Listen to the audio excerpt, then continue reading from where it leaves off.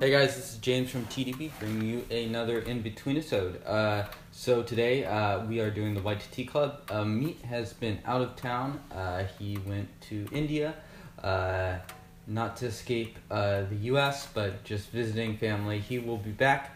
Um, so he is not here to review this White Tea Tea of the Month Club, uh, but he should be back. I'm hoping to bring him on for the uh, January box. So this is the December box. It got to me extremely late. It was held up in customs. so I only received it recently.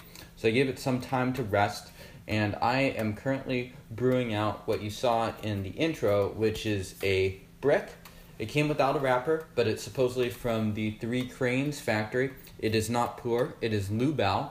Um, and Liubao, I think the closest cousin uh, for those of us that uh, know white tea and Yunnan sourcing is uh, ripe Puer.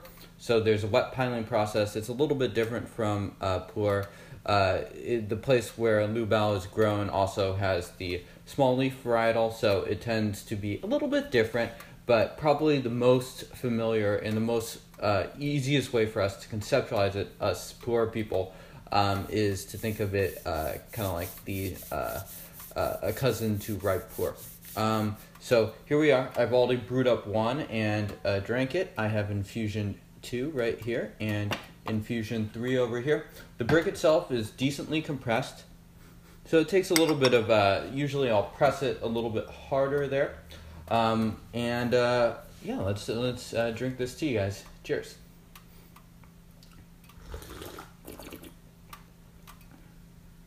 Smooth, soft. It's thick. It's got a good body to it. There's some fruit there. Um, is uh, in my research has been sort of known for its uh, betel nut uh, taste, and uh, there's definitely some of that sort of nuttiness there.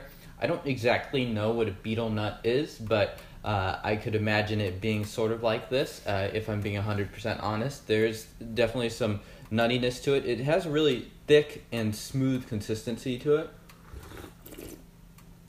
Mm. Uh, really nice. This this steep is nicer than the first one, where it, the leaves are just sort of starting to come apart. And here is steep number three. Uh, yeah, so this club was one of the ones where we got quite a good quantity of tea. Um, I enjoyed my initial session with this brick, and I am enjoying this one so far. So I'm making steep number four, and so right now you guys can't totally see, but the leaves have totally um, uh, sort of uh, expanded to take up the whole Shibo. Uh, in my, I, I have limited experience with Liubao. I probably brewed, you know, 15 to 20 different ones. And I probably only had, I mean, compared to Puer, I should say that I, I don't drink it that often. Um, but I've had uh, recommended to me to use stronger parameters even than ripe Puer, um, as you can really push these things and get really strong, uh, nice brews out of it if you use a lot of leaf and uh, and you just sort of push the extent of the leaves. So uh, that's what I'm kind of doing here. Normally in this device I'd use 5 grams. I'm using about 5.5. I actually used 6 grams for my initial session and I enli- enjoyed that plenty. You do have to be careful as I'm sure you can overbrew it and it could become very nasty. I'm sure especially with more recently pressed Liubaos. Uh, I'm not familiar enough with the Three Cranes Factory to know if this is like characteristic of them or or how their other productions are. Uh, some quick googling showed that Yunnan Sourcing had a few of their teas. You could probably find some of them um, in Taobao or AliExpress, I'd imagine as well. Most of it's quite reasonably priced, uh, even compared to Ripe Puer, so sort of sitting in that very uh, under 10 cents a gram price range. So, um, yeah, cheers, guys.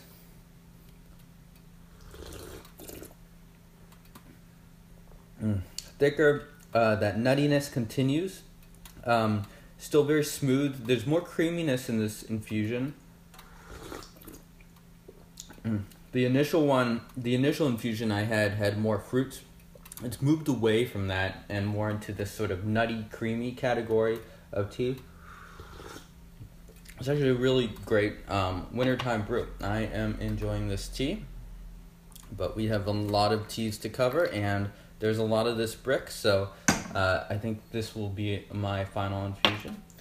Um, let's take a quick smell of this as well. There's a lot of sticks in this Liubao. I found that to be typical for a lot of heichas. These are not your um, rich person's drink necessarily, but they're a very comfortable, easy to drink. I'd imagine this is a very forgiving brew uh, if you want to either grandpa brew it or just just toss them into a big old pot and brew it uh, throughout the day. Uh, so pretty forgiving. You definitely don't need to do it this way. Uh, it hasn't gotten nasty at all. Uh, so it's pretty clean. It's from 2010, so it's had um, I guess seven years for that sort of uh, pile taste to go away. So it's it's definitely at a nice place where it is nice to drink. Cheers, guys.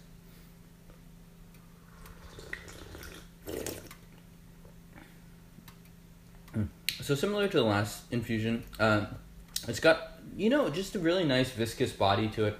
Uh, it's not an overly complex tea, but it's a tea that I think would be very casually enjoyable um, to a lot of people.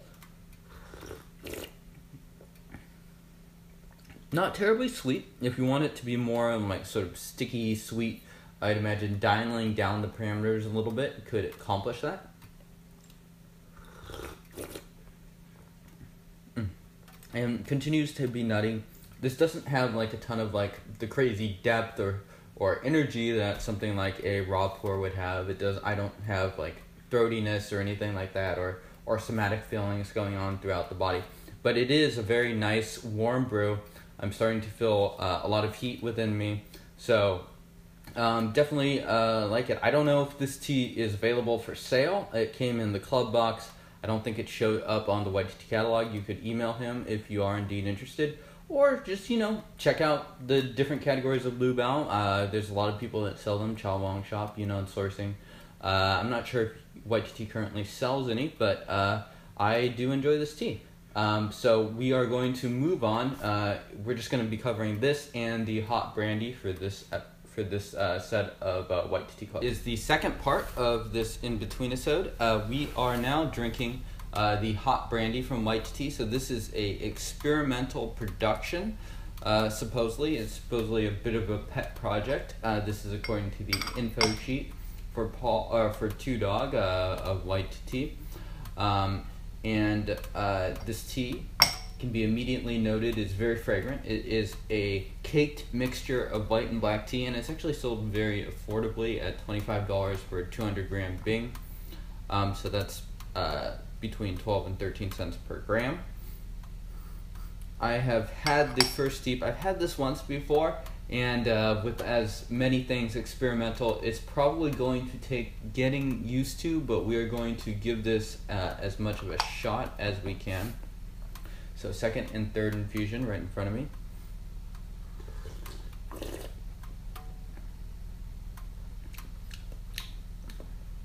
It's pretty smooth. It's soft. It's uh, it's decently thick.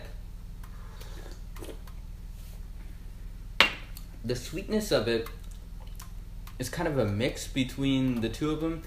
Uh, it's difficult to describe. It sort of has some of that corn sweetness that you can get from a lot of Yunnan blacks and stuff like that. Um, but it also has some of that interesting texture, sort of like a silk texture. Sometimes I get that from white teas, and sometimes I also get that from uh, red teas or black teas.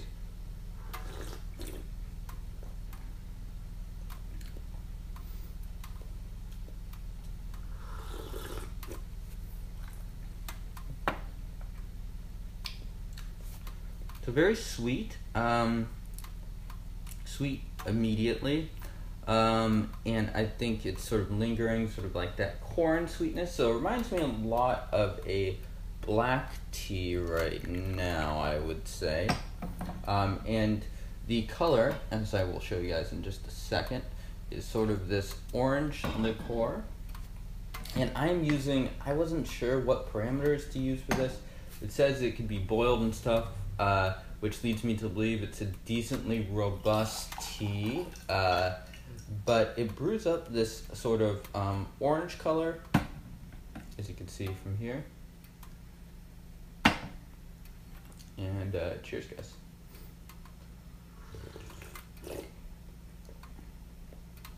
A little bit thinner this time. A little bit more of that soft silkiness is coming out uh, from the white tea.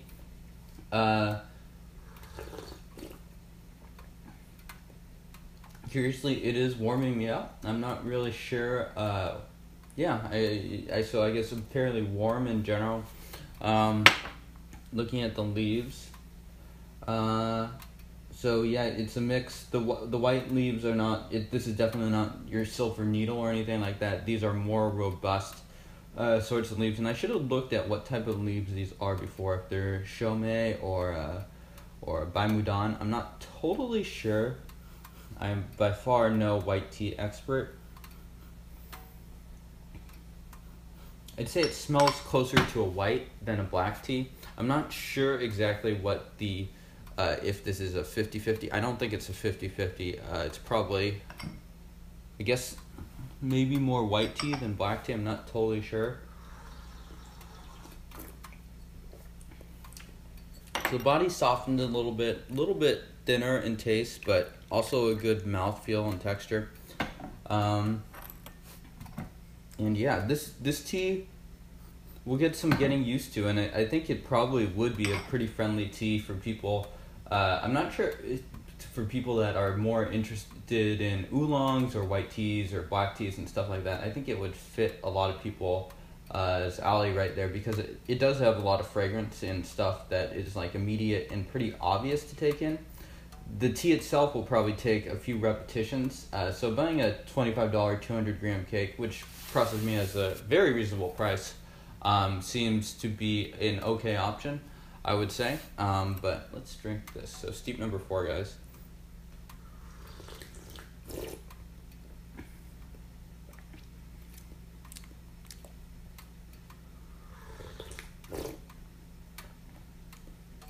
A bit of tannins in this one, actually. Uh, a slight bit of astringency. The body has sort of thickened back up again.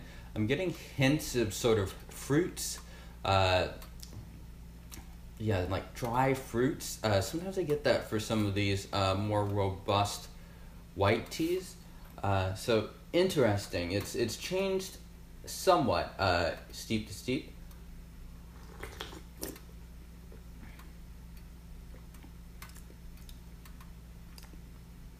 There's a bit of sweetness at the back of the throat, still mainly at the front of the mouth.